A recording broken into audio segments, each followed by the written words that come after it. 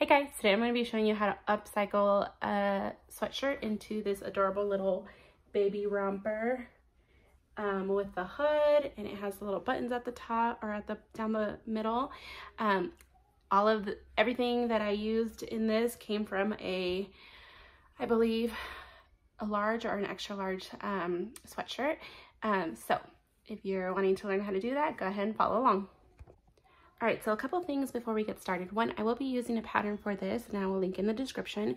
Um, if you are unfamiliar with how to work with patterns or need a little refresher, go and watch my Working with Patterns uh, YouTube tutorial um, before we get started so that you are not confused um, at the beginning. Uh, second, I will be using my serger machine for this, and I know a lot of you guys don't have those or a serger machine, which is totally fine. You can use your regular machine for all of this that we're doing. It will just look a little different, which is completely fine. All right, let's get started. Okay, so before you start cutting anything, lay out your pattern and you want to figure out where things are going to lay. If you have an image here, you want to line it up to where um, you want it to fit onto your pattern. Okay, so now I'm going to mark where I have here this corner so that I can move my pattern up and um, align that marking so that I see how much I have at the bottom. You want to make sure that you have enough room at the bottom um, without going into the uh, waistband. Okay, so now that you know uh, where everything's going to kind of fall, you can go ahead and start cutting your sweatshirt up. Okay, so I just start um, cutting things out. If you want to use the neckband here, carefully cut it out. Uh, if not, then you can just cut right through it. Um, depends on what you're going to be using, but I'll just cut it out here just in case I want to use it for something else. Save it. Um, and then I just start cutting up the seams. So you can see here I'm cutting the sides, I'm cutting off the waistband. Just keep on cutting until you have all of those seams cut up. Okay, so then you'll cut off the cuffs of your sleeve and then cut down the sides of your sleeves also.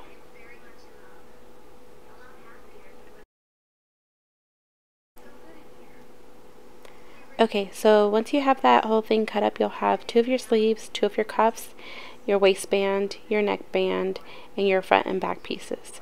So now you can go ahead and start cutting out your pattern. So with this pattern piece here, it calls for two opposites of this pattern piece here.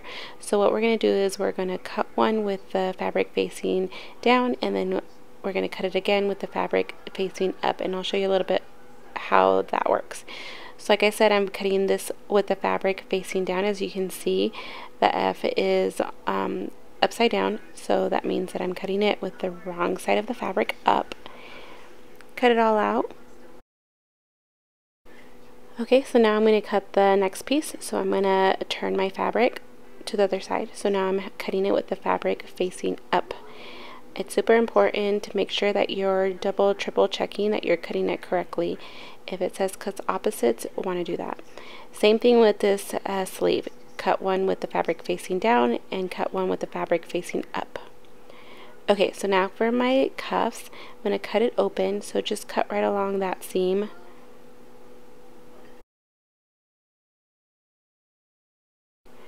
Okay, so now that you have that open, I'm going to kind of lay it here to kind of see what I'm working with. So usually I'll just unstitch this top part here because I want to keep as much fabric as I can. Sometimes those cuffs aren't long enough um, and it might be a little short. So by unstitching it, you're keeping about half an inch of that fabric instead of cutting it open like this. If you cut it open, you lose that top part. So with stitching, unstitching it, you get to keep a little bit more of that fabric. Okay, so now that I have it opened up, I'm just going to get rid of this top part here, which is just part of the sleeve. Um, and now I'm going to lay it on my pattern piece. So as you can see here, um, the cuff is a little bit smaller than what the pattern piece calls for. Um, with upcycling, it's kind of you go with what you have. I'm not going to worry too much about um, the amount that's uh, missing here. Um, and this is also the reason why I unstitched it because it's if I would have cut it, I would have lost another half an inch. So Instead, I'm just going to cut the sides and you'll cut two of those.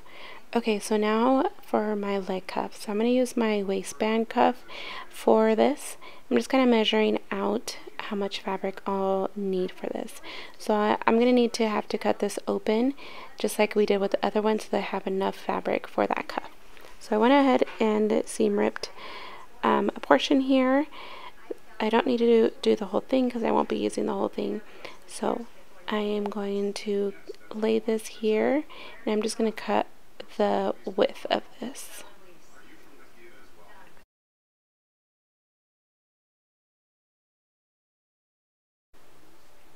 Okay, so now that I have that, it fits perfectly.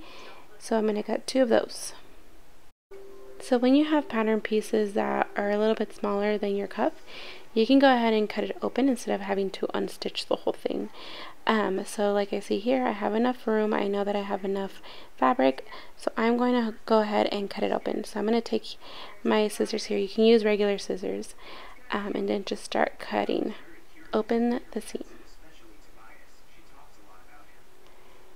and then when you have that cut open you can just lay it out here and then you'll just cut it. And this is a lot faster and a lot easier than seam ripping okay so the last piece is our hood. We're going to cut two one with the fabric facing down and one with the fabric facing up. Okay so at this point you should have two front pieces a back piece two sleeves two cuffs two hood pieces and two leg cuffs. Make sure you have all the pieces that you need before you start getting everything sewn up. Okay, so lay your front and back pieces down and then you'll have your back piece up here and then grab your sleeves. You're going to notice on your sleeves that there's like a little curve here. You have a lower uh, point and a higher point. Sorry, it's a little out of frame, but basically your lower points of that curve are going to go to the front pieces of your pattern and then the higher peak of that curve is going to go towards the back. So grab that uh, lower peak, you're going to match it up with this corner up here, and then match up the other cor bottom corner of the sleeve, and you're going to pin that.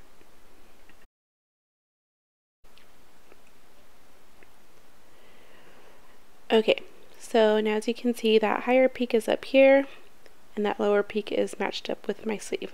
So you'll do the same thing with your other side. So find the low and high peak of the top. And then with that low peak you're going to match it up with the top of that sleeve hole and then match up the other end and clip them so now you have both of your sleeves uh, added and now you're just going to sew along both of those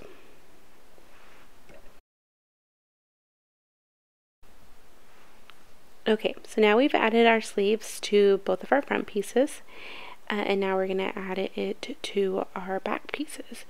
So, kind of ladies out here. This can be a little confusing, so just go slow. Okay, this part here is going to be attached to this side of the sleeve. So I'm going to right sides together.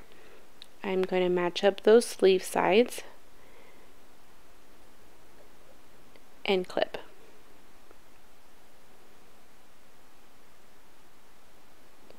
Okay, so now that you have that clipped, you're going to bring your other sleeve side here and match it up with your other sleeve side of your actual sleeve.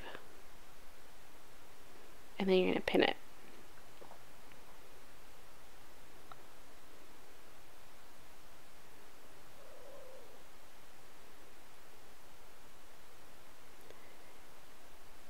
Okay, so now it will look like this. Um, so that is my sleeve. This is my other sleeve here, and this is my back piece. Um, and now we're just going to sew across both of these. Okay, so now that we have it all sewed up, um, these are my sleeves, that's my back piece, and these are my front pieces. So now I'm going to take my back and I'm going to fold it over and just start lining up those sides. So line up my sleeves here, start with my um, end of my sleeve and then I'll match up the armpit seam here. Just make sure that everything is nice and even. Line up the bottom.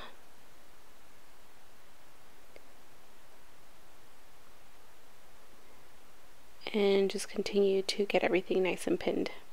When you're first starting out, the more pinning or clipping that you do, it makes it easier when you're sewing with your machine. So now we're just going to do the same thing with the other side adjust and clip and then we'll go ahead and slow, sew down both of those sides. Okay, so now that that's sewn up, I'm going to quickly just serge these edges really quick because when that folds over, I want it to, to look nice and clean.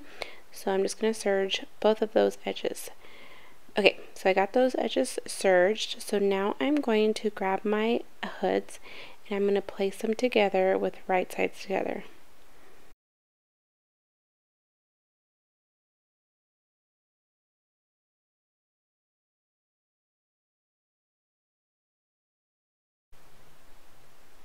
Okay, now that that's all clipped, I'm going to uh, sew along here.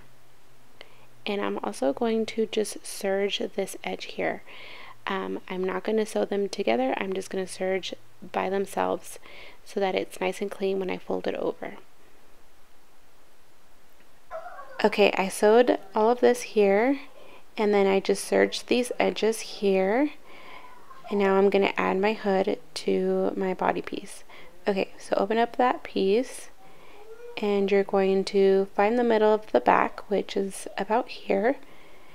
And then you're going to find the middle of the back of your hood, which is right where the seam is. And then you're going to add it to the back here. And you're going to clip that in place. And then find your two edges, match those up, clip, same thing with the other side. Find your two edges. Match them up and clip. Okay, so now what you're going to do is you're going to grab one side and one and the middle and you're going to stretch it until everything kind of matches up. As you can see, one is bigger than the other. You're just going to stretch until everything lines up good.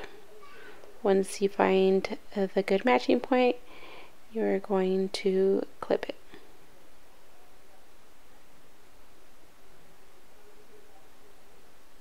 Keep on matching everything up and clip. Okay, same thing with the other side.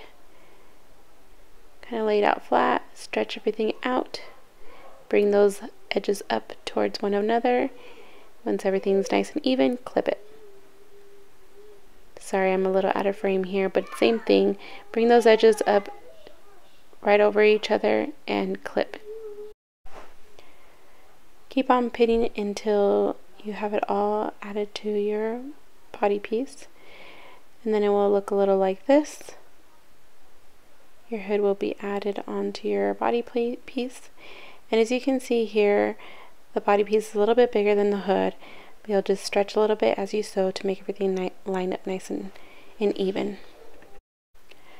Alright, so just sew, make sure everything is nice and lined up. Make sure everything is getting sewed as you go and that you're not missing any layers. Continue to stretch a little bit so that everything lines up. Okay, once that's done, it will look a little like this.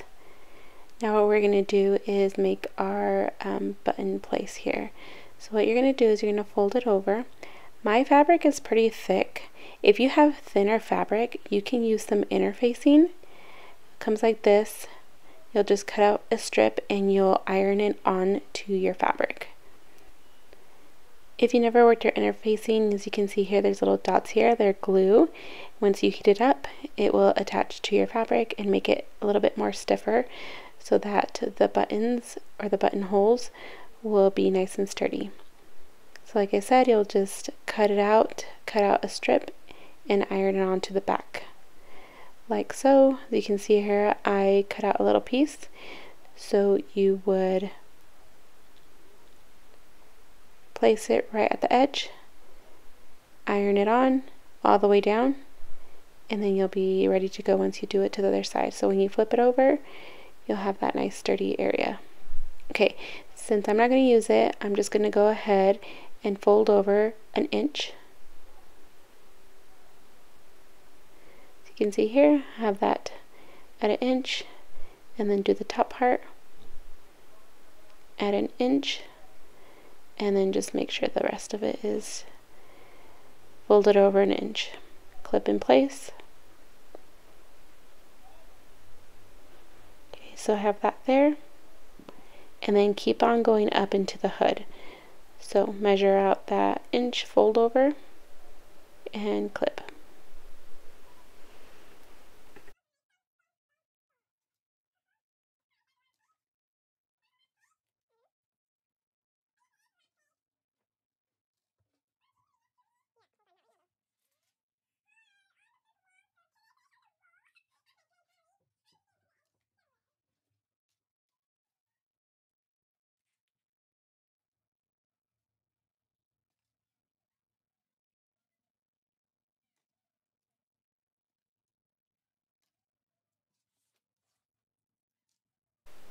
Okay, then you'll do the same thing to the other side, fold over an inch and clip all the way down.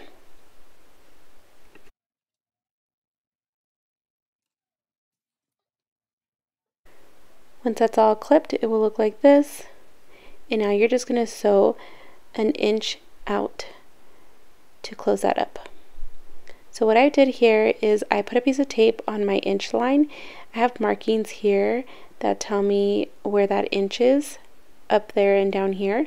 So I just added my piece of tape right where that inch line is. So when I'm sewing, it will be easier to kind of guide that fabric at the inch line.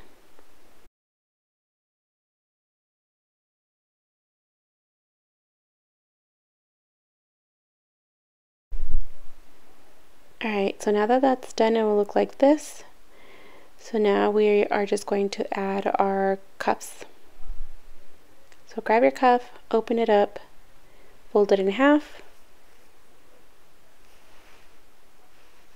and you're going to clip that in half. Once that's done, you're going to sew across, and you'll do that for both of them. Okay, so now we have them both sewn, and now what you're going to do is you're going to fold that over with the right sides of the fabric facing. Once that's nice and even, you're going to find that seam and you're going to mark it with a clip or a pin.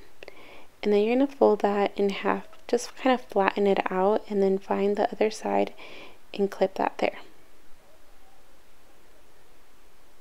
Okay, so now we have those sides. So you're going to bring those sides towards the middle and then you're going to mark the other two sides here.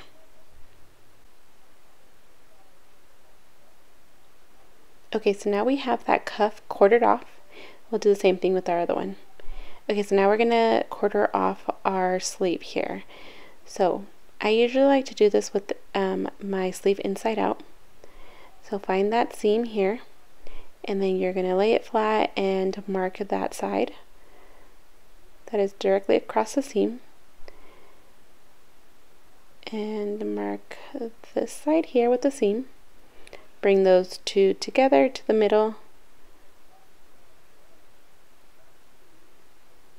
and then mark the other two sides here.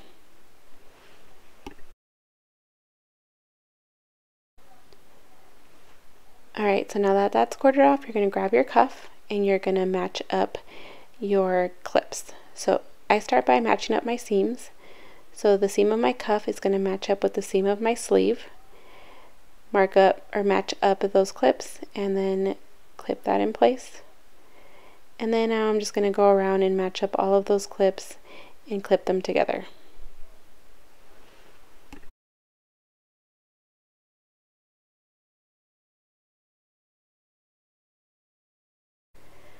Okay, so now that we have those together, as you can see, the cuff is a little bit smaller than your actual sleeve and that's okay because we're just going to stretch and sew as we go so everything lines up nicely. Alright, so just place it. Like I said, we're going to stretch and sew as we go to make sure everything lines up evenly and that you're catching all of those layers that you're sewing. Okay, so now that that's done, we're going to fold in the sides. so that you line up those inside leg seams. You're going to fold over those folds that we made earlier. Make sure that they're right on top of each other and clip. And then continue to um, match up those edges and clip.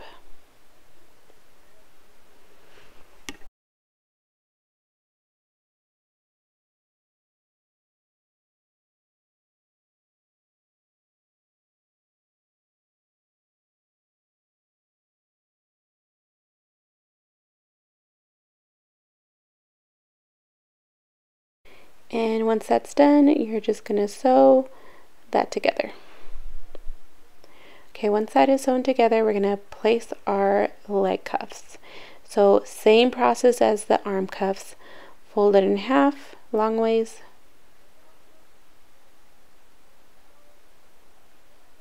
And clip. So down here. Okay, once you have that done, you're going to same fold it over. Even those edges out. Grab your clips or pins. Mark that seam. Fold it in flat. Mark that other side.